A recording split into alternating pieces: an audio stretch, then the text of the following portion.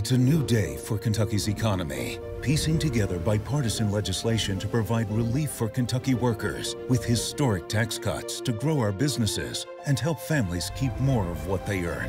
One champion is putting Kentucky first, Congressman Andy Barr. He's fighting to improve our economy and help create more good paying jobs.